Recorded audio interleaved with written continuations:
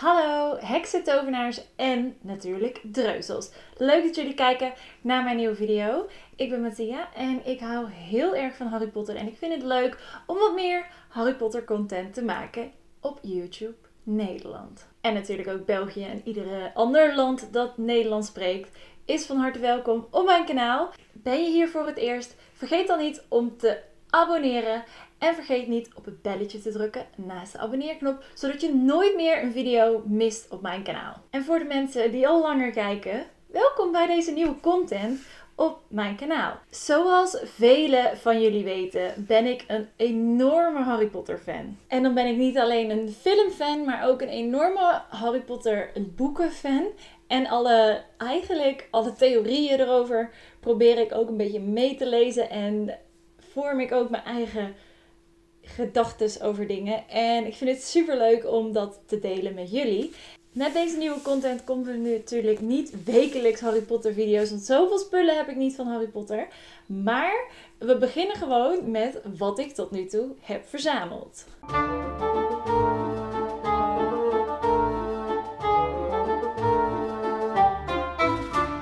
Voordat we daarmee beginnen, komt er, wil ik jullie ook even meedelen dat er in april een bijzondere box komt. Ik heb een subscription genomen op een box die ik echt super tof vond. Ik had andere YouTube uh, creators deze zien unboxen. En ik heb me voor de volgende box opgegeven om deze te unboxen. En dat ga ik uiteraard ook doen op YouTube. Deze boxen zijn natuurlijk niet zo heel erg goedkoop. Maar dat vind ik niet erg, want ik vind het gewoon leuk om mijn kamer een beetje aan te kleden. En dit is echt een hobby waar ik nog niet zoveel van heb. En ik vind het leuk om jullie mee te nemen in deze journey naar mijn Harry Potter kamer. Want uiteindelijk wil ik dat deze hele kamer gevuld is met allemaal leuke Harry Potter spullen. Mocht je een steentje bij willen dragen hieraan. Er zijn meerdere boxen die ik wil aanschaffen. En ik heb linkjes in de beschrijving hier beneden gezet. Mocht je bij willen dragen eraan. Hoeft niet natuurlijk. Je kunt ook gewoon lekker deze video kijken en een leuke comment achterlaten. Daar maak je mij ook al heel erg blij mee. En natuurlijk een dikke duim omhoog te geven. Laten we beginnen. Nou ja, zoals jullie al zien heb ik een t-shirt aan van Harry Potter. Laten we daar maar gewoon mee beginnen. Dit is eigenlijk het enige kledingstuk volgens mij dat ik heb van Harry Potter. En er staat gewoon Harry Potter in zilveren letters op. Deze is van de Primark en was echt een paar euro. Maar omdat er een officiële samenwerking was tussen J.K. Rowling en ehm, de Primark is het wel officiële merch, I guess. Ik heb hem echt heel vaak aan en ik vind hem best wel casual. Je kunt hem gewoon aan naar gewoon een verjaardag of een feestje zonder dat je meteen uber nerd lijkt, maar wel een beetje geeky. En dat vind ik zo leuk aan dit t-shirt. Maar dit is niet het eerste item dat ik heb gekocht of gekregen. Het allereerste item wat ik heb gekregen hangt hier achter mij. En dat is deze time turner. Zal hem even losmaken. Deze time turner heb ik gekregen van een kijker van mijn stream. Casper heet hij. En eh, hij wist dat ik heel erg into Harry Potter was. En toen heeft hij dit naar mij gegeven. Volgens mij voor mijn verjaardag. En ik vind het echt super leuk. Ik durf niet te zeggen dat het officiële merch is. Ehm, dat weet ik. Ik weet niet waar het vandaan komt. Uh, ik vind hem wel heel leuk. En ik heb hem inmiddels, ik denk drie of vier jaar. Ik denk drie jaar. Nee, vier jaar heb ik hem, denk ik. En hij is inmiddels een beetje gaan, nou ja, niet roesten, maar hij is een beetje gaan verkleuren. En dat maakt het juist nog mooier. Ik vind hem daardoor nog authentieker en ook uh, ja, nog leuker lijken. En hij doet het ook. Dus deze draait en die middelste draait en dat zand in het midden draait. En op alle ringen staat dus ook, uh, op al die ringen staan dan dus ook letters. I mark the hours, everyone, nor have I yet outrun the sun. Dat is een bijzondere quote. Ik weet eigenlijk niet waar die quote van is, maar ik vind het wel een bijzondere quote. And my youth and value unto you are gauged by what you have to do. Dat snap ik niet. Maar wel lekker spiritueel. Um, hij is inmiddels ook al een keer kapot gegaan, zoals je hier ziet. Oh, dat zie je niet. Um, hier zie je dat ik een ijzerdraadje heb toegevoegd aan het ringetje. Want dit ringetje was afgebroken, dit, dit stukje. Dus, nou ja. Hij is, hij is inmiddels een beetje kapottig. Ik doe hem ook niet meer om, omdat ik bang ben dat hij nog verder kapot gaat. Maar ik vind hem wel een hele leuke collectie Of een hele leuke toevoeging aan mijn kast. Nagini die speelt oh, mijn kat. dat is ook wel grappig. Dat is ook een Harry Potter accessoire. Die heet Nagini. Dat is mijn kat.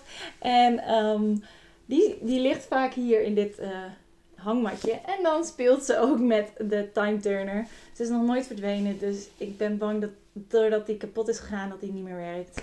Helaas. In hetzelfde jaar, vier jaar geleden, heb ik ook van een kijker dit gekregen. En dit zijn, volgens mij is dit officiële merch. Uh, maar dat weet ik niet zeker. Dit zijn dus muntjes van Harry Potter. Je hebt een galjoen, een sikkel en een knat. En ik heb ze altijd in dit doosje laten zitten omdat ik het zo mooi vind dat ze zo uh, presented zijn. En die heb ik altijd in mijn kast staan. Uiteindelijk wil ik wel misschien een keer een niffler kopen. En dan kan ik die muntjes zo om hem heen leggen. Want hij neemt al die, niffler, ja, al die muntjes tot zichzelf. Nou, nu we toch hier zijn gekomen, heb ik hier nog een chocolate frog. Misschien ken je dit wel uit de film. Het is, uh, deze heb ik van de Harry Potter uh, The Expedition die drie jaar geleden, vier jaar geleden was in Nederland. Um, en op een gegeven moment was ik, had ik zoveel zin in chocola dat ik een hapje eruit heb genomen. Wacht, ik ga het jullie laten zien. dus hier heb je die chocolate frog. Die heb ik dus hier uitgehaald met een hapje ervan. Nou ja, ik kan dat plasticje er even niet zo snel afkrijgen. Maar je ziet dus dat ik uh, kop eraf gebeten heb. En op een of andere manier vind ik dat super grappig eruit zien. En nou ik dacht eerst van, oh wat heb ik gedaan? Ik heb een hap genomen van de chocolate frog. Die had ik gewoon moeten bewaren. Maar ik vind hem juist nu wel grappig. Zo van, stiekem heeft iemand een hapje ervan genomen. Dus, eh, en dit doosje vind ik ook echt zo, zo mooi. Echt de details op dit doosje. En dit is dus ook echt van de, zoals ik al zei, van de Expedition. De tas hierachter, daarachter zie je een tasje. Dat is dus waar deze in zat ook. Is ook van de Expedition. Ik was niet zo uh, ik had niet zoveel geld op dat moment, dus ik kon niet zoveel meer kopen dan een chocolate frog. Maar ik vond hem wel echt heel leuk. Dus ik ben blij dat ik deze heb toegevoegd. En ik vind hem ook echt leuk hierbij liggen. Uh, dan heb ik hier. Ja, deze is leuk. Dit kennen jullie vast. Uh, dit is mijn toverstaf. En dit is misschien wel het mooiste stuk uit mijn collectie. Ook een officiële, uh, officiële merchandise. Ik heb echt niet alleen maar officiële merchandise hoor, van, van uh, Harry Potter. Maar dit is wel een officiële. Jullie zagen hem al aan het begin van de video. De toverstaf. En zoals je kan zien, voor de kenners, is dit de toverstaf van Hermeline. Uh, of moet ik zeggen Hermione? Want ik kan me voorstellen dat jullie de Nederlandse namen een beetje cringe vinden. Vind ik zelf ook. Dus de toverstaf, de wand van Hermione. En um, het viel mij op dat deze wand dus helemaal niet de wand is die ze in de eerste film heeft. Want de eerste keer dat je uh, Hermione's wand ziet, of toverstaf ziet in de film, is het wanneer zij de bril van Harry uh, fixt in de Hogwarts Express. En dat is dus niet deze wand. En dat kwam ik pas achter nadat ik deze wand had. En toen dacht ik, mm, dus ze heeft een nieuwe wand of zo ooit genomen of gekregen. Of speciaal dat ze deze gedesigned hebben voor uh, verkoop of zo. Dus ik ben nog op zoek naar een andere wand. Ik wil eigenlijk mijn eigen wand. Ik vraag me af of je dat ergens kan laten maken. Dat je je karaktereigenschappen en zo doorstuurt en dat zij dan een passende toverstaf voor je maken. Maar goed, um, wel een heel leuk echte Harry Potter piece. Als in echt van echt dat ik als, ik. als ik die in mijn hand heb, voel ik me ook echt een heks. Terwijl we allemaal weten dat ik een muggle ben. Helaas. Nou, dat waren een beetje de echte accessoires. Dus de dingen die je niet echt iets aan hebt ook, maar echt voor decoratie zijn. Dan heb ik natuurlijk ook dit boek. Ik heb overigens alle boeken, maar ik heb even deze erbij gepakt. Want er zijn best wel een hoop mensen die de boeken wel gelezen hebben en de films gezien hebben, maar dan niet dit boek. Dit is ook niet een officieel boek, denk ik. Wel geschreven door J.K. Rowling, volgens mij. Maar het is dus de screenplay van het Harry Potter theaterstuk wat gespeeld is in de Engeland, geloof ik. Of misschien zelfs in Amerika. Dat weet ik eigenlijk niet. Um, ik zelf heb dit stuk dus niet gezien, maar ik heb wel dit boek gelezen. En het is echt een super makkelijk boek, want het is geschreven als script. En dat leest super makkelijk. En ehm, als je deze nog niet gelezen hebt, zou ik sowieso deze aanraden. Het is een verhaal over de kinderen van Harry Potter. En natuurlijk Ron en Hermeline. En uh, zelfs van Malfoy. Draco Malfoy. Dus dat vind ik wel uh, een toevoeging aan mijn Harry Potter fantasiewereld. Um, nou ja, het is gewoon wat extra informatie. En dit boek heeft me ook doen denken, want voorheen was altijd Cedric Diggory, oftewel Carlo Connewasser, was mijn favoriete character. Um, na dit boek niet meer. En um, dat zijn geen spoilers, want ja, gewoon. dat zijn geen spoilers.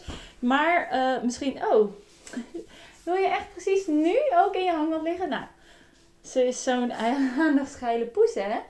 Nou ja, hebben jullie meteen, ook Nagini gezien? Ik vind echt Nagini de beste naam die ze had kunnen krijgen. Ik zat te twijfelen tussen Bellatrix en Nagini.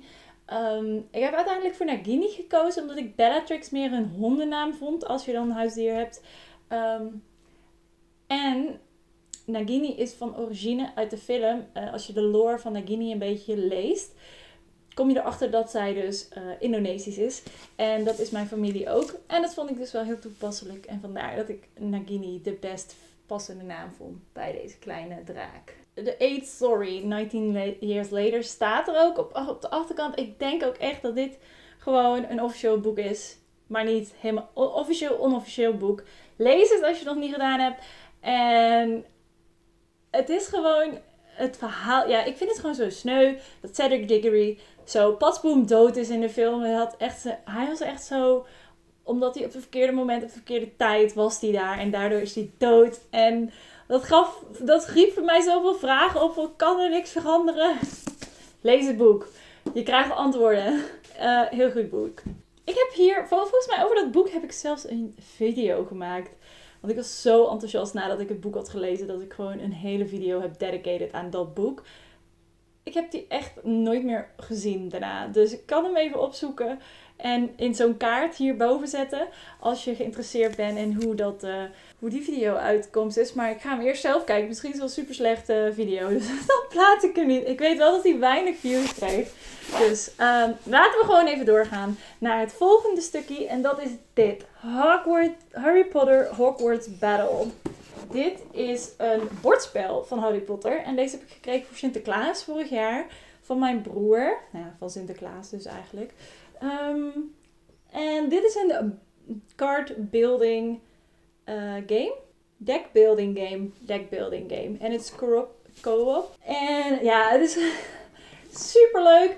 Maar echt alleen maar leuk als je het kan spelen met Potterheads. Als, mensen, als je met mensen speelt die alleen de films hebben gekeken, is het net niet leuk. Het gaat bijvoorbeeld, er zitten kaarten in zoals The Hand of Glory. En die komt echt nauwelijks voor in de film. En de mensen weten, ja, als je alleen de film hebt gezien, heb je echt geen idee wat The Hand of Glory is. Uh, dus super leuk spel, vooral voor Potterhead. Echt super leuk. Ik speel het eigenlijk alleen maar met mijn, met mijn broer. Want ik ken verder niet echt in mijn directe omgeving Potterheads. Hoewel mijn beste vriendin zou ook nog, maar die, dan drinken we wijn en zijn we niet aan het Harry Potteren. Dus uh, deze. Heel leuk. Uh, heel lief cadeau van mijn broer. Echt super dankbaar dat ik deze heb gekregen. En die ga ik binnenkort maar ook weer spelen. Nou, dan zie je hier verder nog allemaal puzzels liggen. Die ga ik er niet allemaal uitpakken. Maar ik heb de puzzel Magical Creatures puzzel. Oh, die is leuk. Dat is een ronde. Dat is mijn favoriete puzzel die ik heb. Dan heb ik hier de Slytherin Draco puzzel. Ook een hele leuke puzzel. Uh, dan heb ik hier nog van de Fantastic Beasts and Where to Find Them een puzzel. En een Hogwarts puzzel. Dat is gewoon van alles uh, in Hogwarts. Ja, gewoon, ik hou van puzzelen en het zijn best wel goede kwaliteit dit. Terwijl het niet van Ravensburger is of zo. Ik weet ook niet hoe ik eraan kom. Volgens mij heb ik ze op Intertoys besteld of zo. En dan de laatste twee dingen die kan ik niet laten zien. Of in ieder geval niet uh, hier in mijn huis. Want die heb ik bij mijn broer staan. Dat zijn namelijk uh, Lego Harry Potter. Ik heb het kasteel. Dus uh, Hogwarts, Zwijnstein. eh, in Lego variant en Diagonally, oftewel de weg is weg.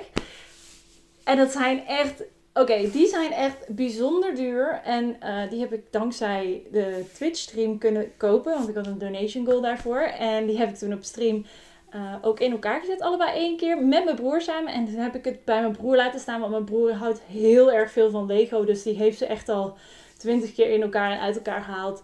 In elkaar gezet en uit elkaar gehaald.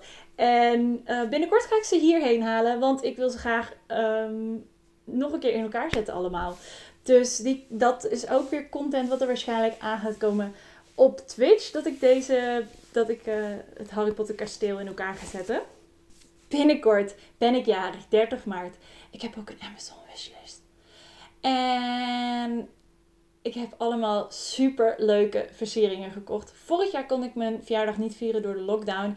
En nu zijn helaas ook de maatregelen weer doorgetrokken tot over mijn verjaardag. Dus ook dit jaar kan ik mijn verjaardag niet vieren. En ik dacht, basta, dat wil ik niet. Dus ik heb stiekem op Wish, nee, op AliExpress, heb ik allemaal Harry Potter versieringen gekocht.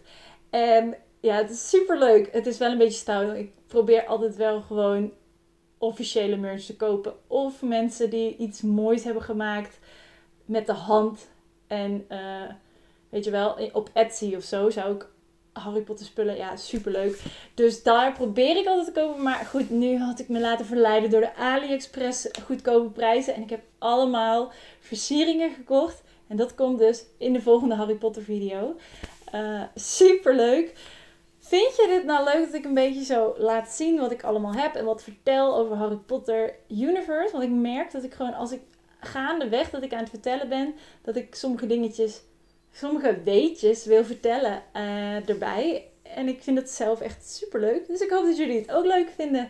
Check de linkjes in de beschrijving als je deze content leuk vindt en meer ervan wil zien en een steentje wil bijdragen. En anders, laat een dikke duim omhoog. Laat een leuke comment achter over Harry Potter. En geef me ook wat inspiratie waar ik het in de volgende video over moet hebben. En dan wil ik jullie heel erg bedanken voor het kijken naar deze video. En heel veel magische groetjes.